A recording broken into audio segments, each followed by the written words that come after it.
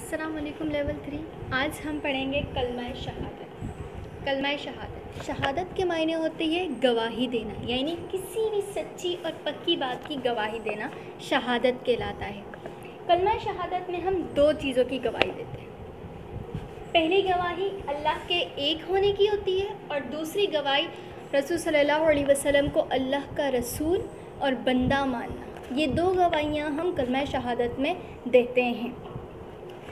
जब बच्चा पैदा होता है तो उसके कान में अजान दी जाती है। ये इस चीज़ की गवाही होती है कि वो मुसलमान है और पुकार पुकार के ये कहा जाता है कि वो एक मुसलमान है और अल्लाह का बंदा है। बसमीम कलमा शहादत हम पढ़ते हैं और स्टार्ट करते हैं और उसके मायने देखते हैं। अशहदु, यानी मैं गवाही देता हूँ। अशहदु मैं गवाही देता हूँ। अल्लाह इलाहा इल्लल्लाह, यानी अल्लाह के सिवा कोई मबूद नहीं। वहदहु, वो अकेला है। ला शरीक कलहु उसका कोई शरीक नहीं है। वशहदु अल्लाह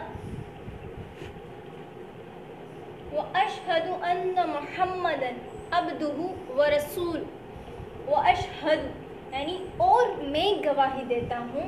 अन्ना, बेशक। Mohammedan Abdu. मोहम्मद सल्लल्लाहु अलैहि वसल्लम अल्लाह के बंदे व रसूल और रसूल हैं। मबूद, पहली गवाही अल्लाह के एक होने की। यानी अल्लाह हमारा मबूद है, इसके सिवा कोई मबूद नहीं। मबूद। मबूद वो होता है जिसकी इबादत की जाए, जिसका कहना माना जाए, अपनी ज़रूरत और हाजत के वक्त इसकी तरफ़ रजू किया जाए। हमें मालूम है कि अल्लाह ने हमें पैदा किया है, उसी ने ज़मीन और आसमान बनाई है। वही सूरज निकालता है, वही हवा चलाता है। वही बारिश बरसाता है, वही ज़मीन से पौधे उगाता है। वही ज़िंदा करता है और वही मौत। इन कामों में अल्लाह ताला की कोई भी मदद नहीं करता। अल्लाह ताला एक है और वही सारे काम अंजाम देता है। अल्लाह ताला ने हर चीज़ के लिए फ़रिश्तों को मुकर किया हुआ है। ये काम अल्लाह ताला के सिवा कोई और कर ही नहीं सकता, क्योंकि सबको खुद अल्लाह ताला ने ही बनाया है और तमाम ताकतें दी हैं। सिर्फ़ अल्लाह ताला ही सारी दुनिया का बादशाह है। और कलमा शहादत की पहली गवाही पढ़ के और कलमा शहादत की पहली गवाही पढ़ के हम इस चीज़ का इकरार करते हैं कि अल्लाह एक ही है, हम उसी की इबादत करते हैं, उसी के, उसके सिवा हम किसी को अपना शरीक नहीं ठहराते, अल्लाह का शरीक नहीं ठहराते। दूसरी गवाही, यानी हुजूर पाक सल्लल्लाहु अलैहि वसल्लम को अल्लाह का बंदा मानना और अल्लाह का रसूल मानना। पहली गवाही में हम ये मान लेते हैं कि अल्लाह एक है। लेकिन अल्लाह को एक मानना ही सिर्फ़ काफ़ी नहीं होता हजूर पाक सल्लल्लाहु अलैहि वसल्लम को भी अल्लाह का रसूल मानना ज़रूरी अगर हम अल्लाह को एक मानते हैं उसी की इबादत करने को कहते हैं ले तो ये बात अधूरी है। हजूर पाक सल्लल्लाहु अलैहि वसल्लम का अल्लाह का बंदा और रसूल कहने से इनकार करना मुसलमान हो, होना ही नहीं कहलाता। पहली गवाही के बाद हमें दूसरी गवाही भी देना लाजमी है कि अल्लाह के रसूल भी एक है और वो ख़ातिमुन्नबीशीन है, यानी तमाम रसूलों के सरदार हैं और उनके बाद कोई रसूल नहीं आएगा। ठीक।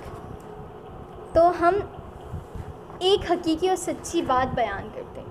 हमारे पे नबी सल्लल्लाहु अलैहि वसल्लम अल्लाह के बंदे हैं और अल्लाह ताला के रसूल हैं। आप दुनिया वालों को उनके असली मबूद अल्लाह ताला की मर्ज़ी बताने आए थे। आप सल्लल्लाहु अलैहि वसल्लम ने तमाम इंसानों को अल्लाह ताला का पैगाम सुनाया, अल्लाह ताला के हुक्म पर चल कर दिखाया और ज़िंदगी गुजारने का ठीक ठाक रसूल सल्लल्लाहु अलैहि वसल्लम ने तरीका बताया। अगर हमारे प्यारे नबी सल्लल्लाहु अलैहि वसल्लम हमें ज़िंदगी गुजारने का तरीका ना बताते और सिर्फ़ हमें ये पता होता कि अल्लाह एक है अल्लाह वाहिद है तो ये बात ना मुकम्मल होती। हमारे प्यारे नबी सल्लल्लाहु अलैहि वसल्लम ने हमें हर चीज़ का तरीका सिखाया, हमें नमाज़ पढ़ने का तरीका सिखाया, हमें रोज़े रखने का तरीका सिखाया हती कि हमें उठने, बैठने, खाने, पीने तक का तरीका बताया कि किस तरह हमें ये सब करना चाहिए। तो हजूर पाक सल्लल्लाहु अलैहि वसल्लम का रसूल मानना भी हमारी गवाही में आता है। थैंक यू अब हम मिलेंगे इंशाल्लाह नेक्स्ट क्लास में।